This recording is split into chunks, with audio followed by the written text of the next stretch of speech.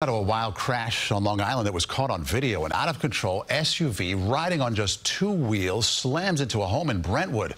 Police say behind the wheel was a woman who was drunk with her three children in the car. CBS 2's Christina Fan talked to the owners of the home.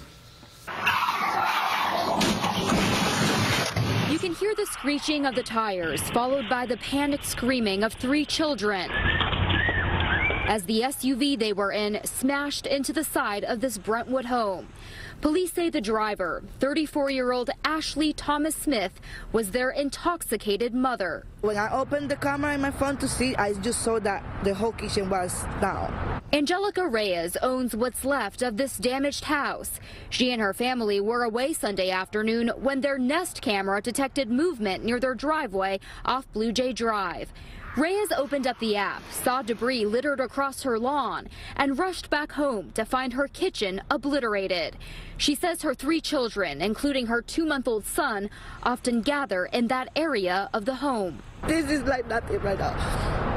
I'm just glad that we wasn't here. Neighbors who helped pull the suspect's daughters to safety are relieved the four, five, and eight-year-old girls were unharmed.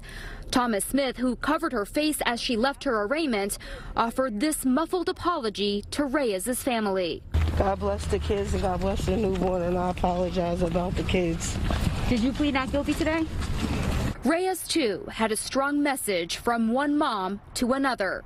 When you drunk, you don't drive, especially when you have your kids in the car. That's terrible. So I don't even know what was passing on her mind. I don't know. The Reyeses now have to find a temporary place to stay after their home was deemed unsafe to live in. Meanwhile, the driver pled not guilty to all of the charges in court Monday and was released on her own recognizance with an alcohol monitoring bracelet. Reporting from Brentwood, Long Island, Christina Fan, CBS 2 News.